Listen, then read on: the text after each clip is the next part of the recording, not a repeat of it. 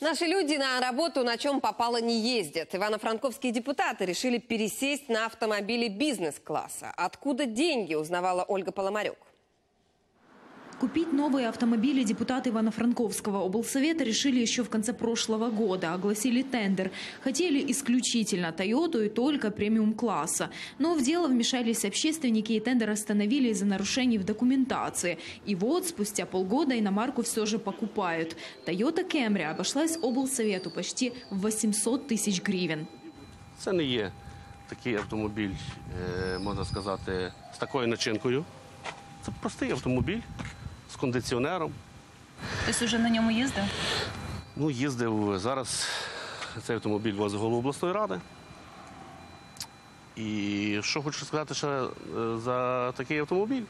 Гарний сервіс, Но одной иномаркой в облсовете решили не ограничиваться. Уже через месяц провели новый тендер. Тоже на Тойоту и тоже для председателя облсовета. Кроссовер Toyota Highlander 2017 года выпуска обошелся области в 1 миллион 117 тысяч гривен. Трехзонный климат-контроль, 12 динамиков, мультимедийный дисплей. Автомобиль оснащен по последнему слову техники. Но все это чиновники роскошью не считают. Є багато виїзних сесій по гірській місцевості, які треба їхати. Ну, відповідно, на таких низьких машинах не, не можеш поїхати. Це було проголосовано на сесії. Чем чиновникам не угодили старые «Мерседесы»? В облсовете на этот вопрос нам так никто и не ответил. В рабочее время ни председателя, ни его замов на месте нет. Общественники возмущены, дескать, в области и других проблем с избытком. Автопарк е, швидкої медичної допомоги обласного центру знаходиться в плачевному стані. Йде недофінансування також е, е, шкіл міста Івано-Франківська.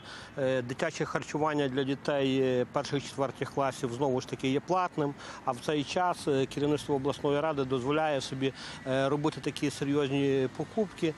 Е, Чому е, ці кошти не спрямувати на інші статті, А вот правозащитники уверены, такие тендеры проводят не случайно. Ведь зачастую, как показывает практика, торги выигрывают фирмы, приближенные к властям. Можна купити ту саму шкоду. Вона по класу, по якості не уступає японським автомобілям. Я вважаю, що це робилось конкретно під конкретну фірму.